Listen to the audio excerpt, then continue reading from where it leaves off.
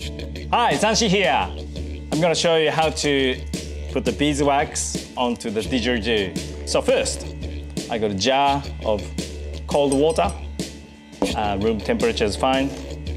Beeswax out of the beeswax wax kit. Basically following this uh, uh, instruction at the back. So, and I have a piece of cardboard to roll the uh, beeswax on. And here we go, it's a boil, boiled water, it's really hot. So I'm gonna first mix that about half and half of uh, cold water and boiling water. And it's like, oh yes, you can still touch it, but it's hot. And you whack those waxing and just wait until beeswax gets soft. If it's just a boiling water, the beeswax will melt away. So make sure it's a mix of the cold water and then it just, ooh, this is hotter than the bathtub water. Um, and soon the beeswax changing the color um, because it's nice and hot. Just wait until wax gets soft, um, about a few minutes. And let's see if this one's soft enough. We, yes. so now, sometimes break, but don't worry, you can put it back on. So now um, I'm going to use uh, uh, cardboard to roll into the shape. Just round the corners up.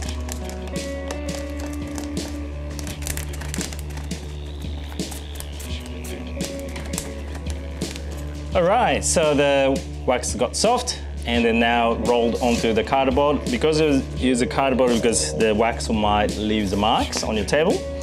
Now, uh, the edges are rounded off on the wax stick. Then it's ready to put it on a didgeridoo. Wax don't need a glue or anything. It's just sticky enough to stick itself. And a couple of pointers. Uh, wax is making your mouthpiece uh, narrow to fit your mouth. Uh, if the termite hollow is too big to seal with your mouth, you need wax. Another point is when you put the wax onto the didgeridoo, you don't want to have a gap between the didgeridoo and the beeswax. Then when you play, air leaks, that's not good. So uh, to avoid that, you can push the wax from inside, sealing it. I'll show you.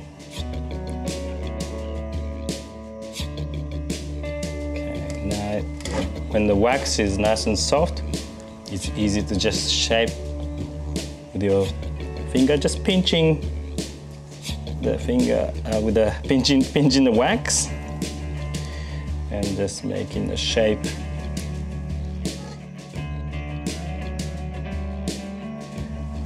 So this is the inside part. I'm sealing with my thumb pushing against the didgeridoo where the gap is. Uh, so it's totally covering from inside if you can see.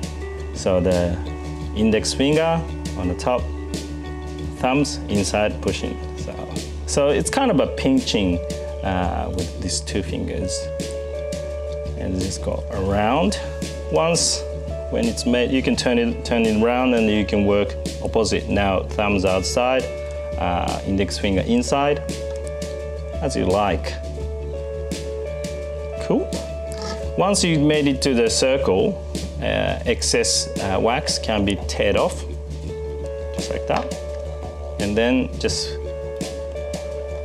while wax is soft, make it neat. And I just aim the mouthpiece size to be about 30 mil uh, diameter. Uh, you can make it bigger. I like 32 mil, but some players play a little bit smaller, so up to you. The important thing is the shape of the wax. You want to be kind of sharp like this way. Um, if you push in like this way, um, then when you play, uh, lips touches the wax and stops the sound.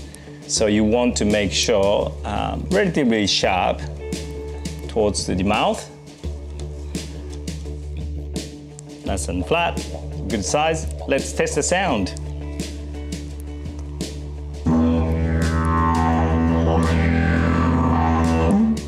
Hmm. I can make it bigger while it's soft. Slightly pushing towards the outside. Gently, take your time. Find your favorite shape, size, etc. So let's try again.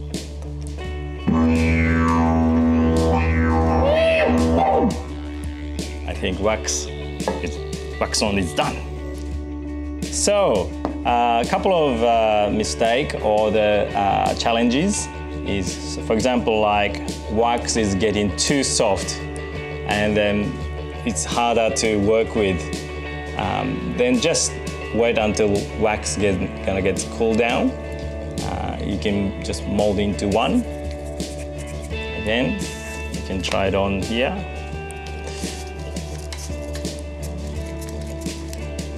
Just wait until wax will cool down, so it's gonna be easier to work with.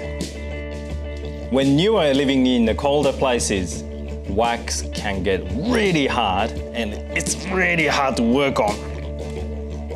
Ah! Then you can take it off,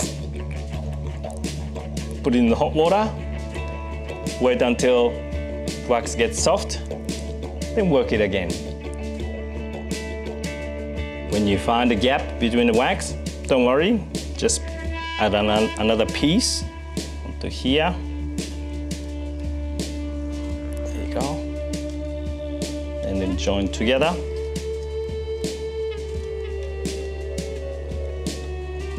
Just keep on pinching where the joint, joining part is and also inside with the thumb. Keep on working with the wax while it's soft. When should I change the wax?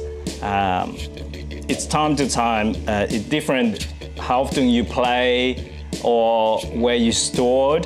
Um, when you look at the didgeridoo, mm, that's too dirty, I don't want to play. That's the time to change, I think. Uh, you can keep on uh, cleaning with a, uh, just picking the dust with a nail or alcohol swab to just cleaning, keep on cleaning, but one day it'll become it's time to for change. Could be a couple of months, could be half a year, who knows, um, depends on your uh, how, how to keep the didgeridoo. Uh, some people use the like a bottle holder or covering to keep the wax clean. But some people just to uh, have the didgeridoo on the stand or towards the wall.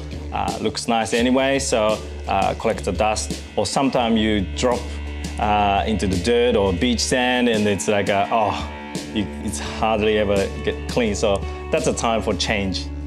So it was easy, right? All you need is a hot water, some jar with the water, and have a half-half mix, and then beeswax, and wait until wax gets soft, then start working on. Make sure it's tight, and then yeah, you can do it again if you stuff up, uh, and take, just take your time and find your nice mouthpiece size. Happy didging!